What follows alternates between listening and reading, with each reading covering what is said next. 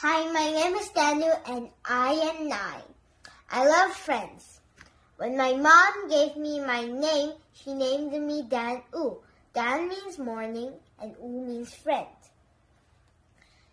It means when a friend wakes up in the morning and thinks of playing with someone, the very first person they think of is me.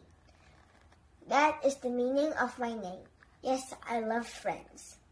So I like to play with my friends excitedly, like doing experiments with them, especially scientific ones.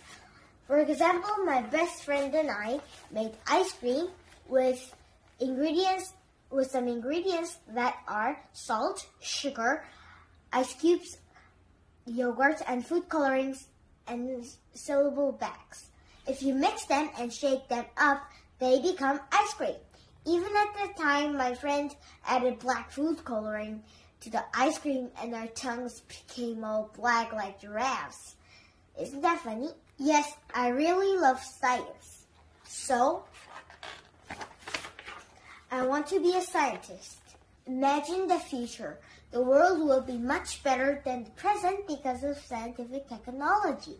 I want to make robots in 20 years and show it to my friends and many people. When I become a scientist, my, uh, I'll notice that robots can be friends to people and be part of people. When someone loses one leg, my robot can be their new leg. When someone wants to have a pet, my robot can be that pet. My robots can be anything for anyone. I'll be the scientist who can design robots that can do helping people, helping our planets, like stopping global warming by shooting new chemicals at the sky. And my robots will go to Mars and find the 119th element. 20 years later, I'll be 29.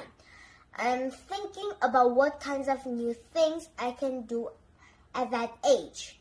I suppose I can do many more things than a nine-year-old boy. But before becoming that age, I need to prepare and practice.